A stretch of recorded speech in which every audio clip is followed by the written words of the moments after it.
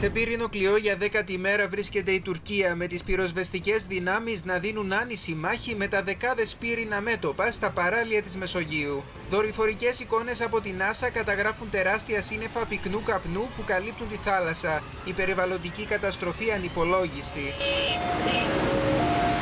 Ο απολογισμός είναι βαρύς. Οκτώ πολίτες έχασαν τη ζωή τους, εκατοντάδες τραυματίστηκαν και πολλοί είναι εκείνοι που είδαν τις περιουσίες τους να γίνονται στάχτη. Onlarımı kurtardım.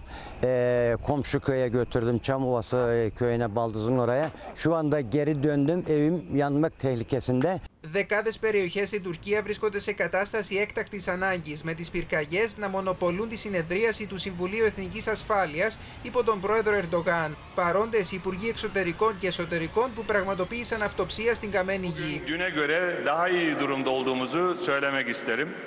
E, Çünkü dün e, bıraktığımız noktadan ileriye yangının e, daha ileriye gitmesini arkadaşlarımızın can siperhane çalışmaları sayesinde havadan karadan müca- e, müdahaleler sayesinde e, durdurduk. Η κυβέρνηση Ερντογάν που δέχεται πειρά για την διαχείριση των πυρκαγιών συνεχίζει να κάνει λόγο για fake news και να κατηγορεί την αντιπολίτευση για παραπληροφόρηση μέσω των κοινωνικών δικτύων.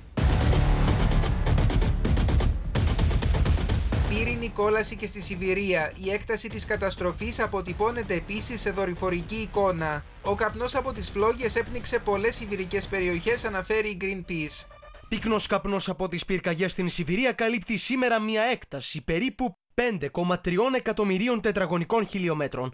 Αυτό είναι μεγαλύτερο από την περιοχή της Ευρωπαϊκής Ένωσης ή περισσότερο από το μισό της έκτασης των Ηνωμένων Πολιτειών Αμερικής. Οι πυρκαγιές έχουν καταστρέψει συνολικά 13,4 εκατομμύρια εκτάρια γης, μια έκταση περίπου στο μέγεθος της Ελλάδας. 1,3 εκατομμύρια εκτάρια δασικής έκτασης έχουν αποτεφρωθεί και ο εφιάλτης συνεχίζεται.